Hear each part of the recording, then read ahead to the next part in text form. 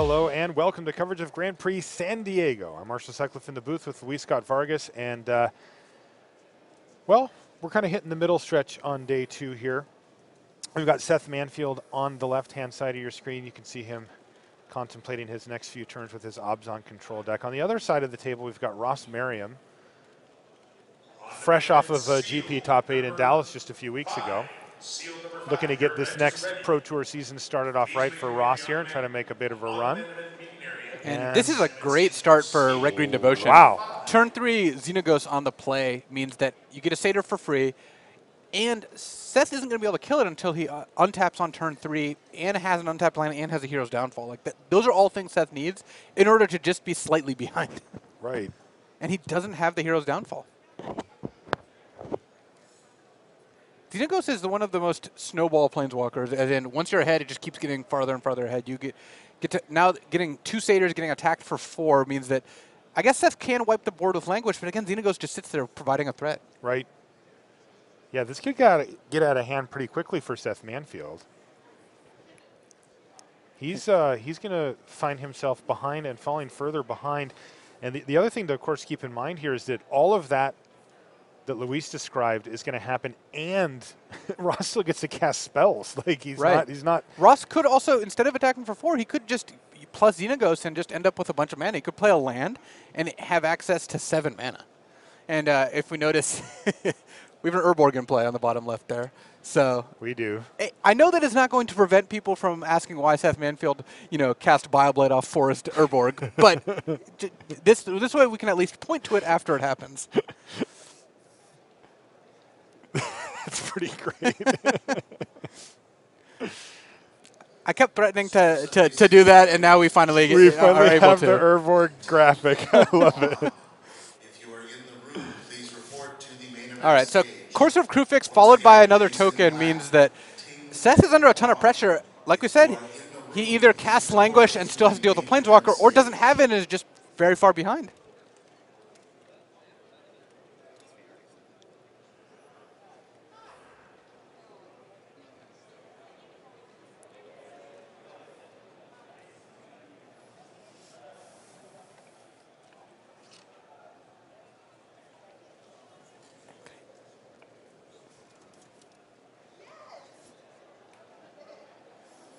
So Seth has Abzan Charm end of turn, but that's not going to really be enough to, to get him out of this. I mean, that, that just increases his options for the next turn here.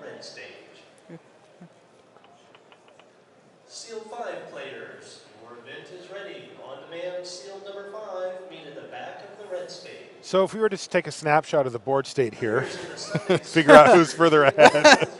uh, I think I mean, it's not over because again, I'm kind of expecting a languish here. Assuming, although even a siege rhino could stabilize, Seth's not out of this game. I think I think that he's still you know solid like 25, 30 percent to win, uh, which which would of course make uh, Ross 75 or or 80. or, or 80 percent to win. Of course. And one thing to note, actually, you know, maybe it's a little lower because one thing to note is that Ross didn't play a land last turn, so he yeah he did use Xenagos. He played Caryatid plus one, played Rattleclaw, but he's got all spells in hand, but he can't cast very many of them. Xenagos still a big threat. If Seth can find a Hero's Downfall, it could it could turn into like a 40-60 here instead uh, instead of uh, any other numbers. A 40-60? Yeah, because if Seth's 40% to win, that would make Ross 6% to win. It's just math. so I, am curious if, if Seth has a way to deal with the Planeswalker problem is, and this is why Planeswalkers are so good, is that Ross is diversifying his threats here in such a manner that one removal spell can never wipe everything.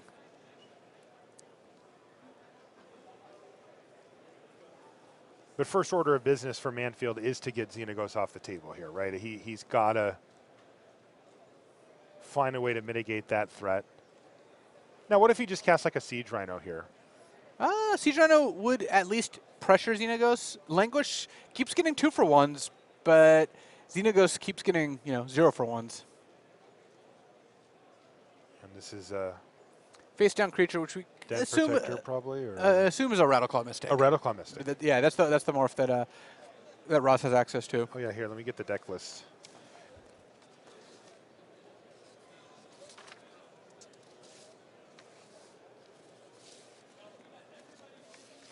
Seth.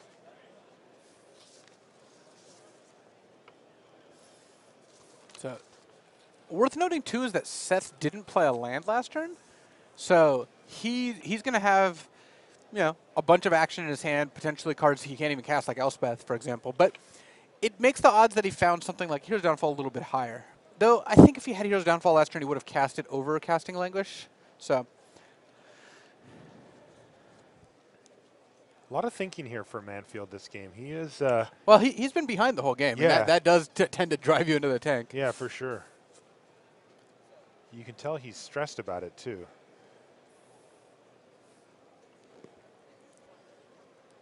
All right. Four mana does narrow the list of suspects down to basically Siege Rhino. How many languishes does he play? Let's take a look. He's only got two, so those are done. yeah. Utter End is also an option too. Seth Manfield does have one man deck Utter End. He could be considering using Utter End to take out Xenagos here. Thoughtseize? All right. Let's see. Let's see what Ross is working with. We know that they're all cards. We know that they're all spells.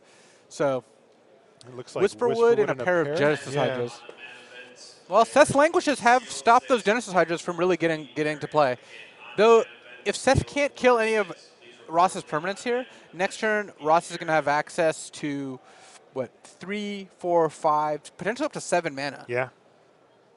So he's going to need to do something here, and he's going to have to. He just plays a courser. He does hit a land off of it, but he has not sufficiently messed with Ross Merriam's mana situation here this turn. So Merriam gets to play something big. He took Whisperwood away with the uh, Thoughtseize. So he did, but Bang, Right. bang, bang, and Merriam's in super mode here with the Genesis Hydra for five. Might just get his, you get a Oh, Whisperwood gets a anyway. Whisperwood. He, oh, geez, there's one one of the them. three Whisperwoods that were in the top five cards of his deck. Doesn't actually matter since it shuffles post, but yeah, wow. So Manfield tried to take away the Whisperwood option, but uh, instead he got a Whisperwood and a 5-5. Genesis Hydra That's strictly better. Work. Yeah, just a lot better, Luis. He just added 11 power to his board. It's going to be okay. So, Seth, in terms of sweepers, because we're, we're at the stage of the game where sweepers are really what he's looking for, he's got Elspeth's Sun's Champion, which does some amount of work there, and he's got a Tragic Arrogance and an Ugin. So he's got a couple one ofs and a two of, but yeah, you, okay, Whisperwood is, is you know notoriously good against sweepers, and uh, if Tragic Arrogance is cast, Ross can sack Whisperwood, and then potentially get one or two manifests depending on what Seth Seth chooses. All right, there's the manifest. So a super board state now for Ross Merriam, who's looking to untap and uh, and kill Seth. And Seth is now going to have to try to find a way out of this. He finds a Thoughtseize on top of his library with his Courser. That's not going to do it.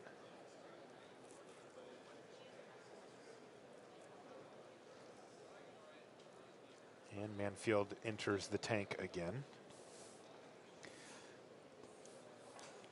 Yeah, once again, the uh, Ross Merriam's deck has just gotten ahead and stayed ahead. Even though Manfield's done a decent job with those languishes of wiping away the board a couple of times, it's just felt like Merriam has been able yeah. to immediately restock his board at, at each occasion. The problem keep, we keep coming back to is Xenagos. Yeah. It's Turn three Xenagos. It's not effective to, to wipe all creatures off the board if it leaves a Planeswalker in play, and Ross has just gotten a ton of value out of Xenagos through, throughout the course of the game. Yeah, the, yeah, the key sequence I think was was when Ross played a turn three Xenagos, and we saw that that Seth did not have a hero's downfall for it, and now Xenagos has just run rampant on this board state. All right, well, here's the utter end, and I think that might have been what he was thinking about before, but so Xenagos is finally done, but so is a lot of work. I, I, and I think Seth may have chosen to cast Thoughtseize last turn on the hope that Ross had like one good spell in hand Yeah. and maybe a couple pieces of air, but you know this devotion deck doesn't have a lot of air. It, it's got a bunch of elves, but those are you expect to be in play, and other than that, it's got a lot of high end. There, there aren't a lot of you know random situational cards in the deck. It really is just elves and threats. and then just big punches, yeah.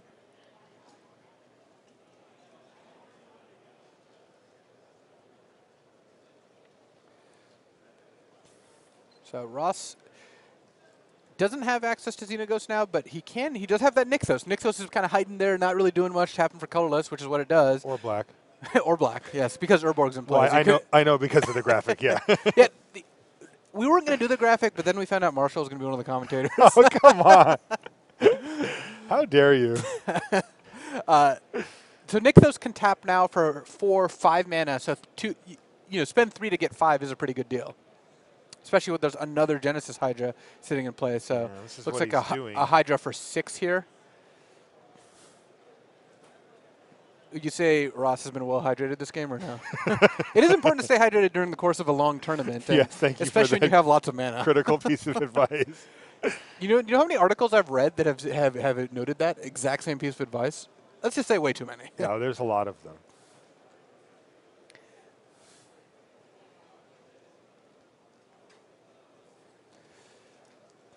So Ross debating between doing it for five or six. It doesn't actually change too much in terms of like what cards you can select. It just obviously gives you another another bite at the apple. Right. And in this case, it's Polukranos or bust here. Elvish Mystic not being the, the most impressive. No. And look at this board. And this is this is the thing Whisperwood does. Whisperwood would be a fantastic card without the sacrifice ability, but with the sacrifice ability, it means that even a sweeper really just isn't going to get the job done here. Right. I mean, how the heck does Seth Manfield get his way out of this mess? It's just not going to happen, right? It's going to be difficult. Like Seth would have to do something like let's see, does he have ultimate price? He does. He could go ultimate price.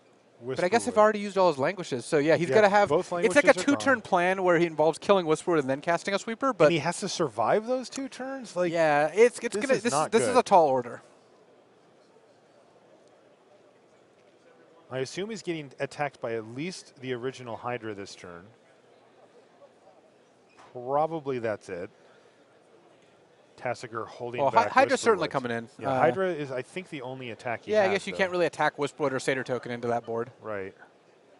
Well, one reason not to attack with the Hydra is you maybe don't want to trade it for Tasigur because Whisperwood could make it into a manifest. Like you want to keep creatures out for that. But I, I like attacking with the Hydra anyway. We're also actually looking. What if he attacks with everything? Whisperwood gets blocked by Tasigur. uh, The manifest gets blocked by Courser, and you get to hit for seven. So actually, could Ross have not attacked with the or tapped the El- the Rattleclaw Mystic? Because then if he did that, it would have forced a chump block of the Whisperwood. So given that he, he he's not able to attack with Rattleclaw, I do like attacking with just the the Genesis Hydra here because you really don't want to throw away Whisperwood. That's what your hedge is against another sweeper.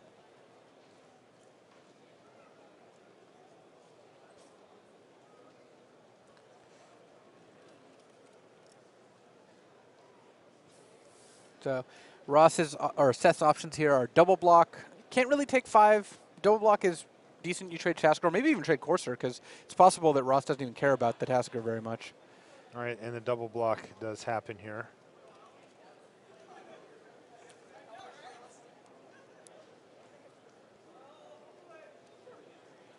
So you're saying that, that Ross may actually prefer to take out the Courser? It's possible because Tasigur, you're not. There's no He way doesn't have Seth, time Seth's going to activate it, and yeah. the fact that it's a four-five isn't huge.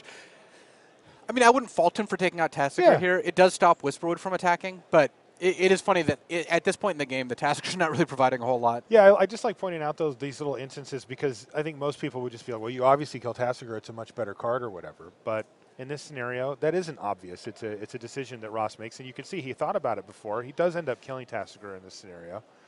He's going to get his uh, manifest token off the top there. Pass the turn back to Manfield.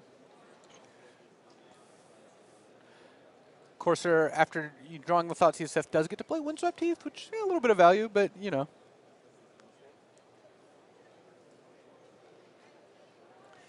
Now, what about Elspeth?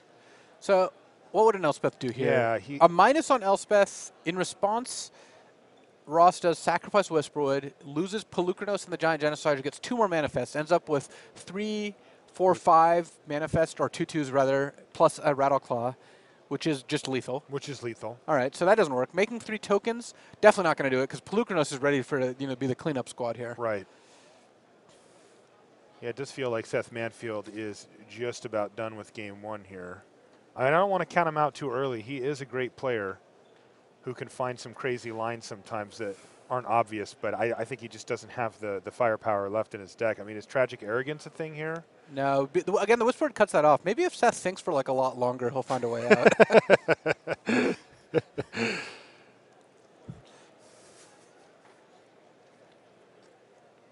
See that Seth lost the beard. And hence, about hence all of his powers. On demand standard five. Your event is ready. All right, well, he did have the Elspeth here, and he is going to minus it, and I guess he's You just going to hope that he doesn't sack in Well, response. see, uh, uh, sometimes people look at plays like this and they're like, "Why did he do that? I was just dead on board." The the the, the, the key is that Seth, his best out was to hope Ross forgot to sacrifice Whisper Yeah. Th- that's a perfectly valid line. Totally. If you've got no chances otherwise, you might as well. I have seen people do that. Yeah, the, the thing that, that people, I think that they underestimate is the fact that Seth knows that that is a very low percentage play, but it's the highest percentage play that he has, so that's what you do. Even if he knows it's a 5 or a 2 percenter or whatever, that Ross just goes, sure, oh, whoops. All right, in the meantime, that whole dead on board thing looks like Wait, it's coming wait, wait, wait, wait. How did Seth tap Windswept Heath? Didn't he have to sacrifice? Luis, I'd like to direct your sight to the lower left portion of your screen. All right, and that will finally do it for game one here. Seth, we're a little reluctant to end that one. He was Yeah. still kind of hanging on, but that is it. So Ross Merriam picks up game one against Seth Manfield, earning himself the red triangle. We're still working on that technology. I think it's a green rhombus this round. What round is this? Uh, This is 12? this is round 12? Oh yeah, that's rhombus round. Oh, yeah, yeah, right, right. That we talked about it in our meeting We have, we have a chart, yeah. yeah. All right, let's do a little live look in here. We've got Leo Maros versus Jerry Thompson. Oh my goodness! What is going on Please here? say they're picking thi- up their thi- permanents. 'cause Well, th- this is Michael Majors, actually. Oh, This that is Michael Yeah, Majors. he's the only one playing the mill deck in day two. That's playing true. against a green-white constellation deck here, so. Or was. Some Things are getting scooped up. There's tons of angel tokens. I don't know what we just saw, but it was awesome. I don't either, and uh, that's also would mean that that's not Jerry then because he wasn't playing. Right, right, right. No, that- Yeah, that- that- so that was just a totally different match. Yeah. Okay, uh, wow, yeah. On one hand, I'm really curious to see how that played out. On the other hand, I'm kind of glad I didn't have to come in Right, on snapshot of infinite permanents. No, that, that's just next level coverage. Is all right. Here's a here's a board state with 37 permanents. Analyze it. Go. Yeah, but that's what I bring you here Right. for. I'm play by play. I'm supposed to say, hey, Luis, what's going on here? Super Sunday Series. You're, you're, you're supposed to point out Urborg's in play. I don't even have to do that anymore. yeah, it's true. Wait, wh- what would you say you do here?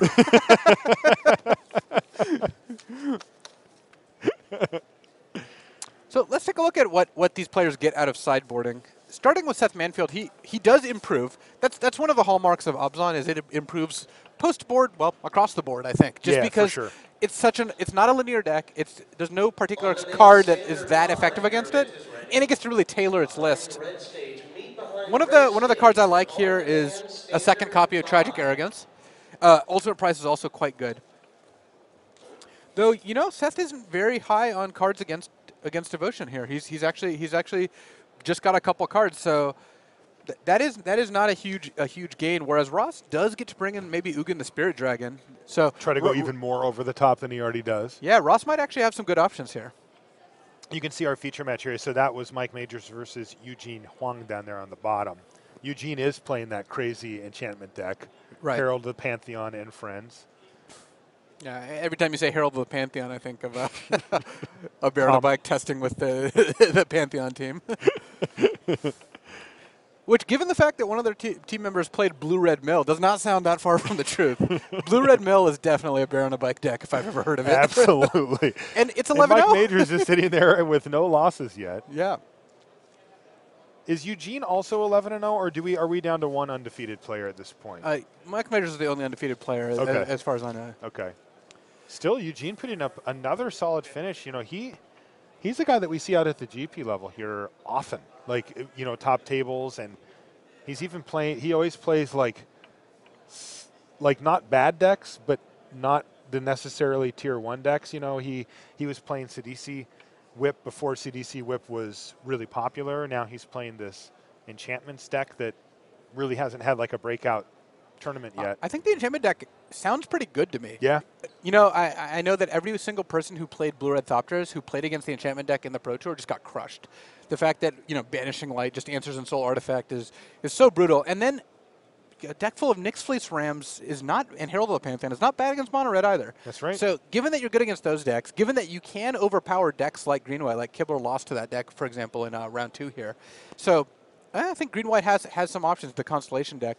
I do think that a cards like Tragic Arrogance will will punish this deck pretty severely. You get to pick one enchantment and the rest go away, which is particularly brutal against like Silk Wrap.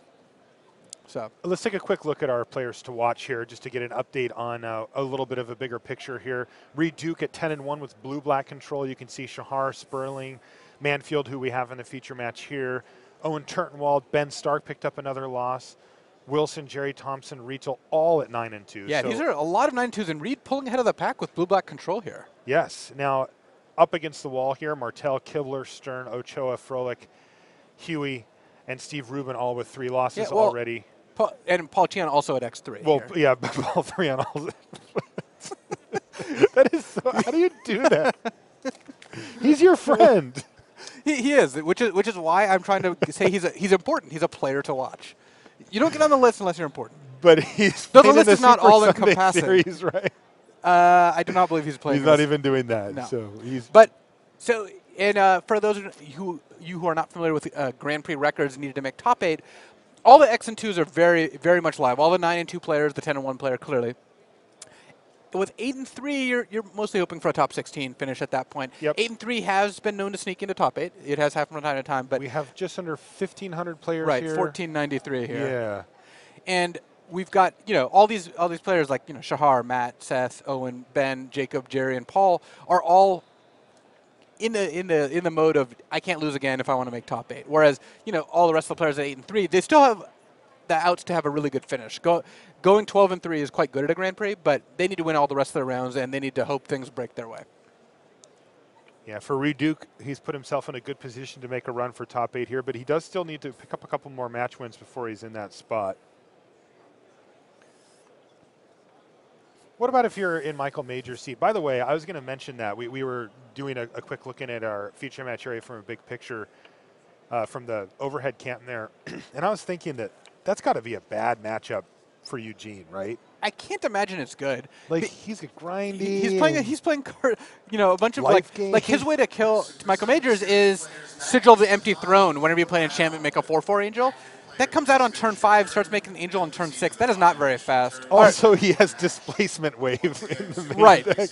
All right. Looks like our players are ready. Let's head back to our match here. If you have a time extension and there is not a judge at your table already, please call for one now. You know, the blue red mill deck sounds pretty good if it keeps playing against green white enchantments and Yeah. green white mid range and Jeskai that can't interact with Sphinx's, Sphinx's tutelage because our, our last undefeated player before this round, uh, Michael Majors beat Ben, ben White's, who was playing Jeskai. And we, we saw Michael Majors defeat Josh Utter-Leyton yesterday, also playing Jeskai. Playing Jeskai too, yeah. I think there were seven copies of Jeskai into day two, so there was a few. And a slower start here, unless of course Ross can just go land Xenagos here. Yeah, which is Polukranos a lot less impressive because Seth assuredly has some combination. Wow, he doesn't have Abzan Charm or Hero's Downfall. Wow. Th- this deck has 15 three drops in it, so Seth must have a, a, a hand with a lot of powerful cards because he certainly does not have the cheap ones. Wow, I'm surprised by that. And this is where Languish does not look awesome. Rhino? Yeah, the puny Siege Rhino comes down. Polukranos kind of chuckles. Siege Rhino is a great card. It's, it's you know clearly one of the driving forces behind Abzan. This is not the matchup where you really rely on your Siege Rhinos. Right. No play before turn four for Seth Manfield. Thankfully for him, though, he is on the play. So his Siege Rhino gets to hit, and there's roast. So barbecue time. Meanwhile, Polukranos hits for five damage, and there's even a follow-up play with another Sylvan Caryatid here. We do note, though, that Ross Merriam has missed his land drop for the turn, but he's got enough mana to work with here.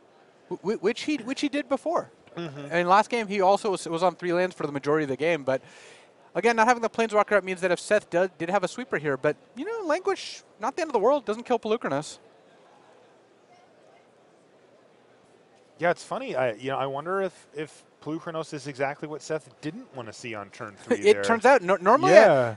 you'd rather deal with that than than a Ghost, but in this case, well, if Seth doesn't have an answer. Polukranos is kind of clocking him. Yeah, he, he does the shrug languish there, takes out the Still two pretty good. edits. Yeah. Players in sealed. Yeah, Languish is very good. I, we see this pretty often from this red green deck that they actually don't have that many lands in play.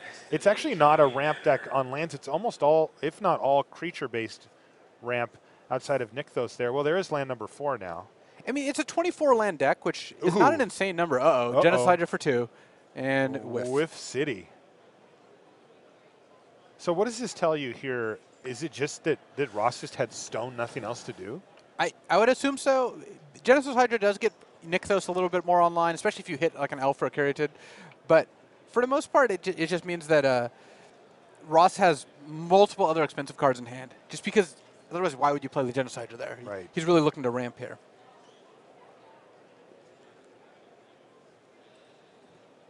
So Manfield's going to be considering these options as well. Why would he play a Genesis Hydra for two? All right, well, if he's got a whole lot of other threats, I better do something big.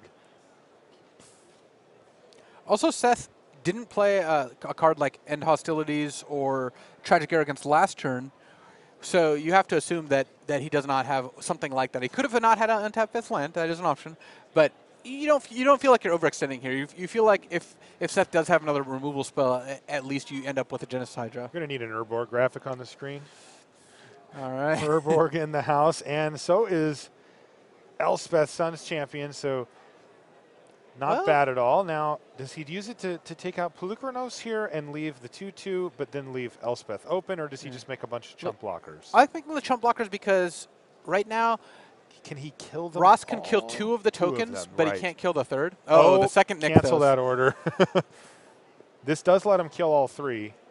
And then that coincidentally kills Elspeth. Wow, so this is just a disaster for Manfield.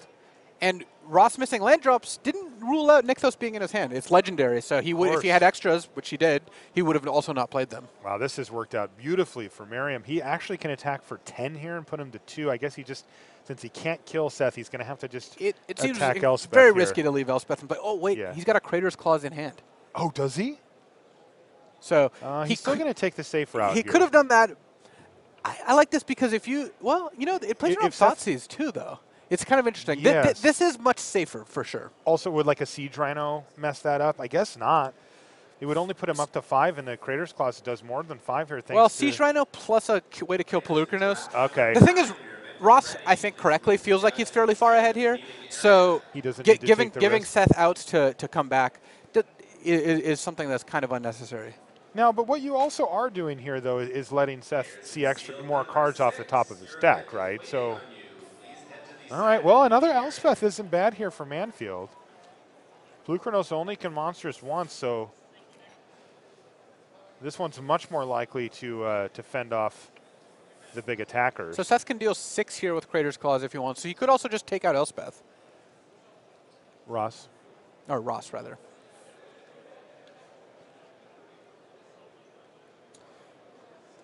Question now is whether Ross also has, I, I believe, Nissa World Waker in hand, which would uh, give him the option of making a 4-4 trampling land that could attack. And he drew a mountain, so he has access to another mana.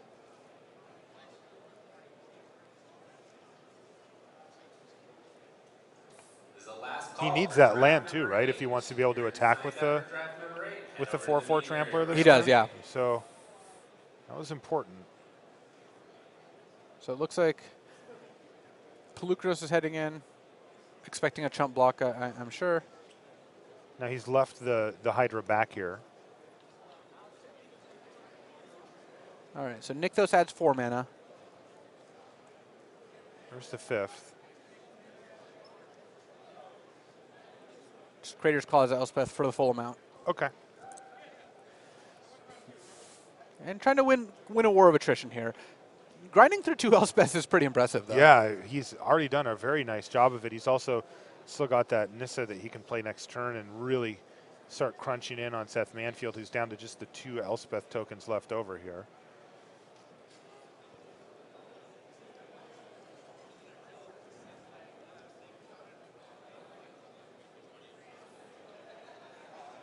You know, Seth's definitely not out of it. Ross did have to use Crater's Claws here, so it's not like he's got a bunch of burn spells left. If Seth can kill Polukranos, then Ross doesn't actually have much going on. No, a 2 2. Not very impressive. Though somehow Seth just hasn't played spot removal spells. Yeah, it's funny. It's In either game. One of the highlights of Abzan is that the deck has a ton of different kind of Doomblade type effects. You know, just effects that kill creatures, and so far that Polukranos just been running rampant the Yeah. whole game.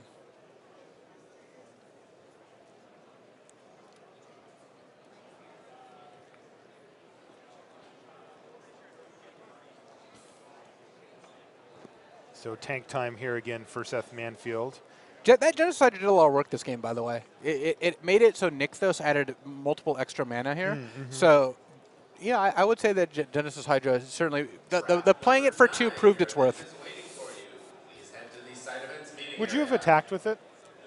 To trade for two tokens, I, I think given that it's tapping for Nykthos mana, I, Mm-hmm. just I- too important. Yeah, I, I don't I don't love it. Okay. Yeah, Majors does in fact defeat Eugene, and uh, he moves to 12-0. 12-0 with a blue-red mill deck. The odds that we see Mill in the top eight pretty high at this point. They're very high. All yeah. Michael Majors has to do pretty much is find a, someone who who will draw with him in the next couple rounds.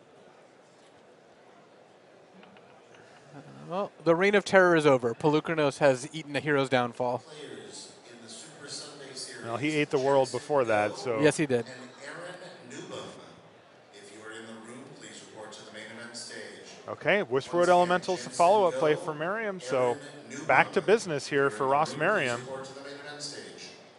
Meanwhile, Seth Manfield's generating more advantage off the courser. He's already played a couple of extra lands.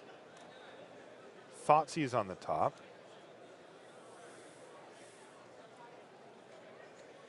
Looks like Seth's got maybe some more rhinos here. Okay, bolstering his life total up and giving him a nice blocker. Does still have to find a way to deal with that Whisperwood And- and- before it gets out of hand. Uh, these, these threats have just stuck on the board long enough. You Right. know, Lukranos goes monstrous, kills a bunch of tokens, kills an Elspeth, and now Whisperwood looks like it's going to get another manifest here as well. I mean, given how how long Polukranos stayed in play, you, you have to assume that Seth's running pretty light on removal, which means that Whisperwood might just sit there for a while.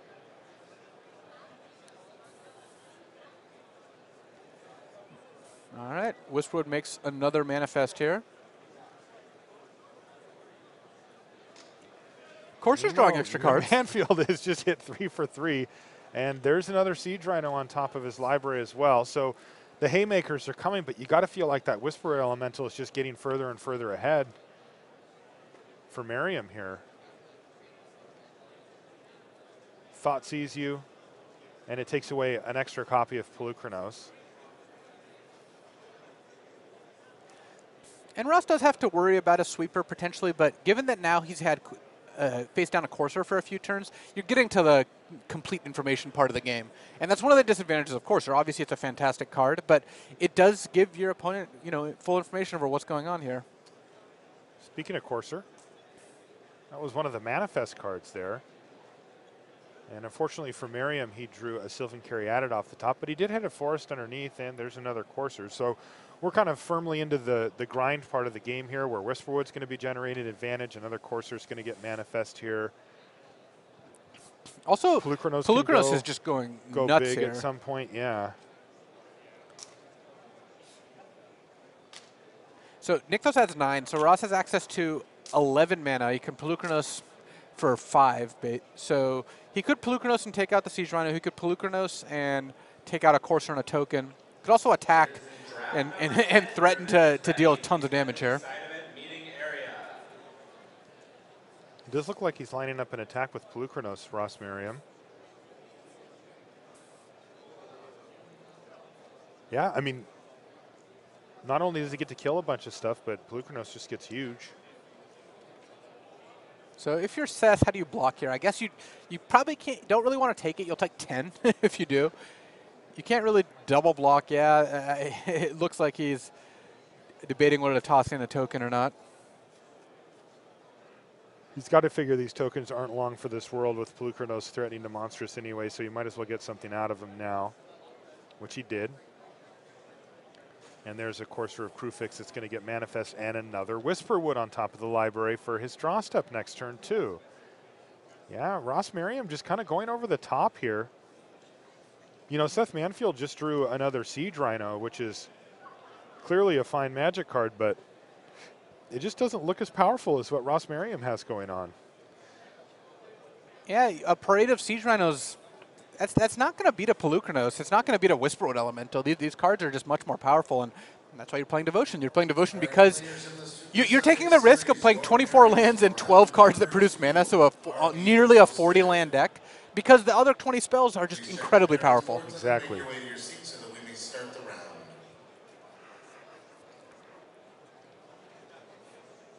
Manfield's passed the turn back, I believe. Ross drawing another Whisperwood here, and Yeah. he still reserved the right to Polukranos. He, Yes. he, he could at some point do it, but he does not need to do it right now. Yeah, and you know, like you said, the the Courser Kruphix for Seth Manfield is really annoying at this point, just because, you know, once Ross sees a removal spell sitting on top of of Seth's library, then he knows, okay, well, this is a turn I have to fire off my Polukranos. But until then, he just doesn't. Right. He just gets to sit there and you know accumulate value. Eh, we're getting to the Polukranos to kill two siege rhinos range. Yeah, like, it- it's not, it's not as far away as it might seem. It does, and here's more action off the top, in the form of a Genesis Hydra. So things are just getting completely out of control here. As here's Whisperwood number two. Unfortunately for Ross, that genocide is going to get manifested, which makes it a little Yes. less impressive. But if he really wanted to, he could sack both Whisperwoods, though I don't think that that's an advisable play. All right, looks like Polukranos is, get, is getting large here. Nykthos is tapping for 2, 4, 6, 8, 10, 11 mana. And he's got an extra land there to make it.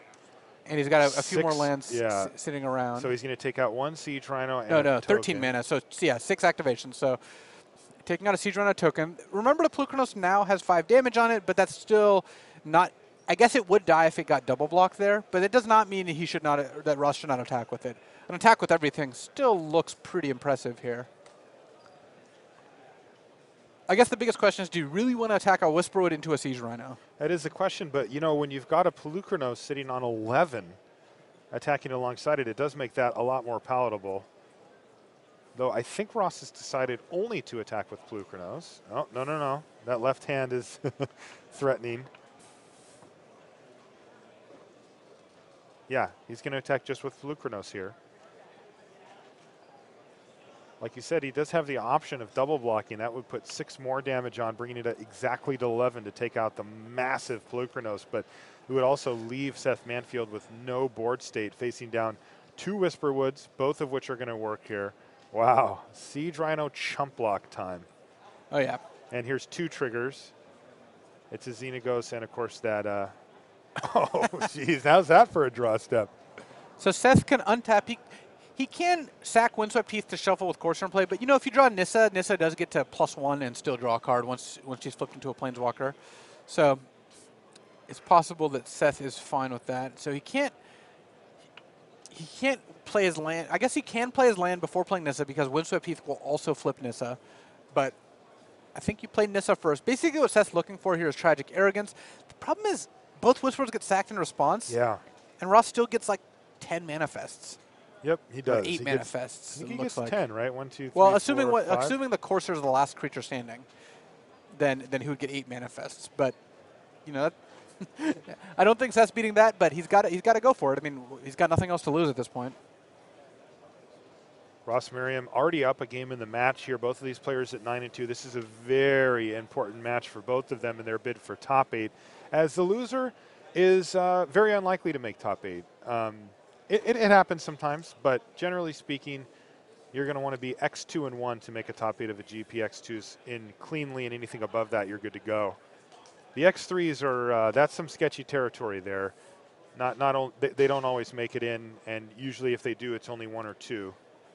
So you don't want to find yourself with this third loss here. I, I think that both players will consider this a win and in to keep their hope alive to make a top eight.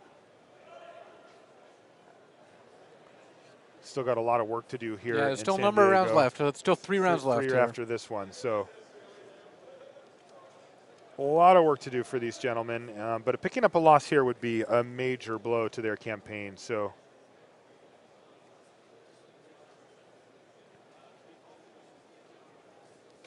Ross looks like he's in good shape.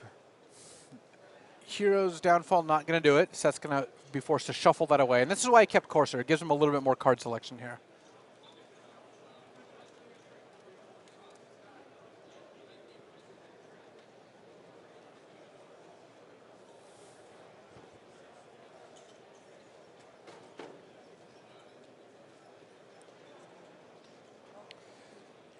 Okay, so here's one chance that Seth has to hit something. Well, he gets to look at his top card. He gets to fi- Yeah, he'll get to see whether you know his fate is sealed or not.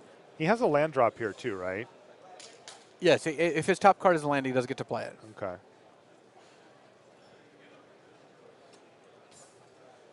Though it has become very difficult to imagine what it's going to actually get him out of this. Please begin. How about Ugin? Does that work? That's high up on the list. It does Holy leave crap! the manifest, though, right? It does leave all the manifests, Oh man! but it doesn't trigger the Whisperwood elementals. It exiles. No, it exiles them. oh man! But then Ross is going to get to play his own Ugin. So Ugin gets to minus five here. Everything goes away except the three manifests. And then Ross gets to untap, attack, play his own Ugin. We've got a game though. This isn't this. It's somehow this game is not over. That's incredible. Yeah. Um, he does get to sacrifice both Whisperwoods if he wants, and the Oh, he- second one. the second one does get a manifest, one. so it's going to be four manifests even. Four of them. Still, uh, not a bad draw.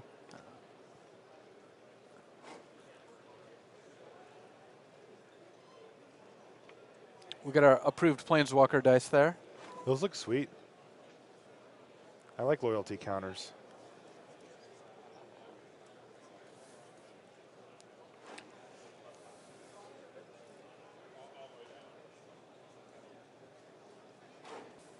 Oh, Seth's played to his outs this game. He he shuffled. He didn't jump with Courser. He shuffled. He got to look at his top cards. Now he's Uganing for a minus five here.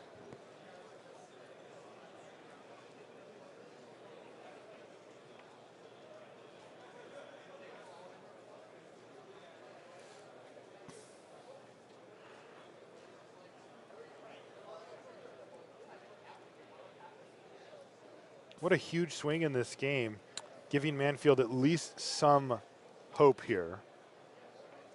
And if Ross does manifest with the Whisperwood, if he double manifests, he doesn't get to draw Ugin. So maybe he does not want to. Of course. He's just going to let everything get exiled. yeah, drawing Ugin seems like a huge game he can't here, as cast it. can He's got seven mana. Ugin. Yeah, he doesn't need. But if one of his morphs is a Rattleclaw, he does get to cast it. Regardless, he knows he's going to get to kill Ugin. looks like he's checking his manifest here.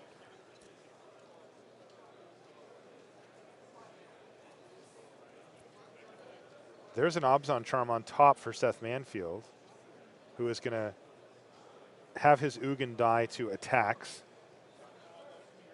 And from the manifest. Ross is just going to pass the turn after that. On demand number six and sealed He's got Ugin in hand. He's a mana away from casting it, but Manfield at 18 life can actually just start drawing cards here with these uh, with this Abzan charm, Yeah, that's what he's got to do. And maybe find a hero's downfall or something like that to try to answer Ugin after Ugin comes down. He's got to find what like a languish or something here too to sweep Languish should be perfect. Uh, try to guard against a little less so. Elspeth. Siege Run- well, uh, both Elspeths are done. Oh, Seth- that was Seth- God. That was this game, Yes. it? it's been crazy. and apparently these players have a two-minute time extension, so they're they're, they're going to keep battling here even if the time runs out. Also, uh, depending on how long this goes, because Seth's refusing to die here. Uh, Very we, we- we, stubbornly. we might not get to our to our time shifted match here. Yeah, well, we'll keep an eye on that. Now, Seth is not running Den Protector, right? That's not a thing for him. Uh, Seth is running Den Protector. Ross is How, not. how many does Seth have? He has three. Okay, so that would be sweet here. Oh, that, that's what it is.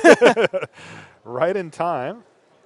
All right, so Den Protector can immediately get something back. It looks like he is, Is maybe just going for a Siege Rhino. What else would you does want he to have a languish in his yard? he also has a Languish. Oh, he's just going to get the Thoughtseize to, to make it so Ross can't cast Ugin here. Okay. Wow, this has just been awesome. Now, Manfield, though, did take a lot of damage that turn between the Thought Thoughtseize. And now he gets to trade a Den Protector for a Manifest and take four damage going down to six here. Now, I think he knows all of these manifests, right? Yeah. Genesis Hydra. And I think I think the other two are, are nothing. As far as I, I remember, Yeah. Ross hasn't flipped them for multiple turns. Uh-oh. Ross drew a spell. Oh. And it was a Whisperwood. Another Whisperwood Elemental for Ross, who passes a turn back. And, And s- another huge turn here for Manfield. He needs to. Is it another den protector? No, it's, It's a not. Courser.